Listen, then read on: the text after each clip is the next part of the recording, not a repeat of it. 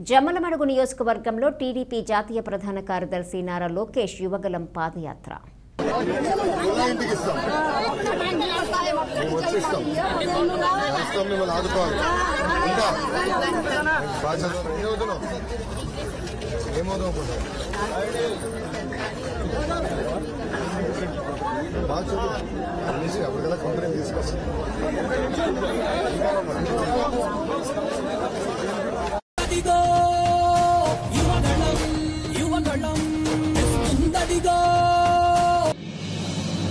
ఆంధ్రుల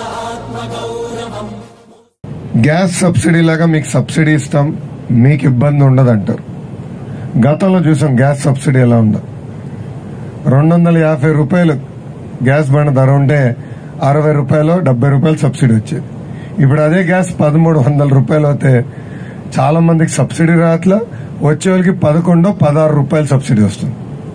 సో రేపు ఇది కరెంట్ సబ్సిడీ కూడా అలా రైతులకు మారిపోబోతుంది ఈ అన్నిటి కారణాల వల్ల ఈరోజు రైతుల ఆత్మహత్యలో భారతదేశంలోనే మూడో స్థానంలో ఉంది ఆంధ్ర రాష్ట్రం.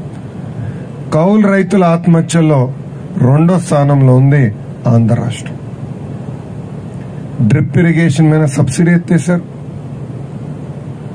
ధరలు పడిపోతే ప్రభుత్వం ధరల స్థిరీకరణ నిధి ఏర్పాటు చేయలేదు. ఎక్కడ రైతులను ఆదుకోలే. అకాల వర్షాల వల్ల పంట నష్టం జరిగితే కనీసం అధికారులు వచ్చి ఎన్యూమరేషన్ చేసి నష్టపరిహారం కూడా అందజేసే పరిస్థితి ఈరోజు ఆంధ్ర రాష్ట్రంలో. ఇంకో పక్కన చూస్తే నిర్వాసితులకు ఇవ్వాల్సిన ప్యాకేజ్ ఆర్ఎన్ఆర్ ప్యాకేజ్.